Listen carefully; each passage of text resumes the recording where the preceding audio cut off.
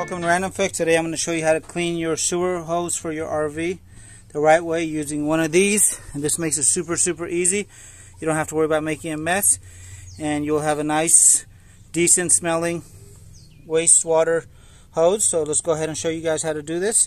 And I'll have a link to this in the description box below as well. So this is really, really easy. Just snaps in place like a cap. And to use this is really easy. Go ahead and turn on the water here.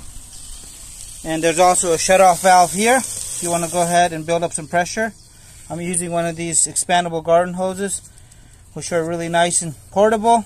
And as soon as the pressure builds up, you can definitely take advantage of that to flush the system out.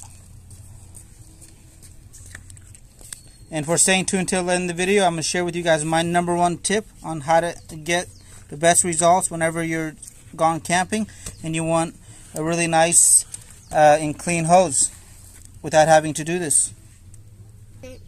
Okay, whoosh.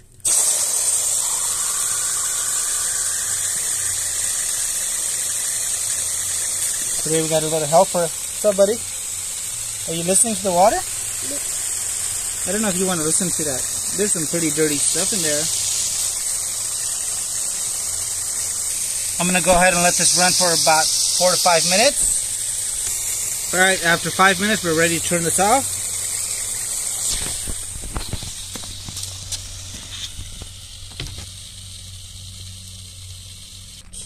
Yeah, I'm gonna put the rocks back. All right, so what I did is I disconnected the other two extensions.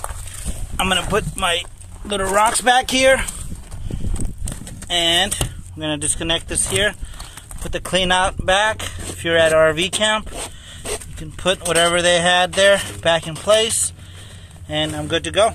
Done. You could put it away and check out some of these magnetic hose holders and these things are really sweet because you don't actually have to grab the hose and they just pop in place.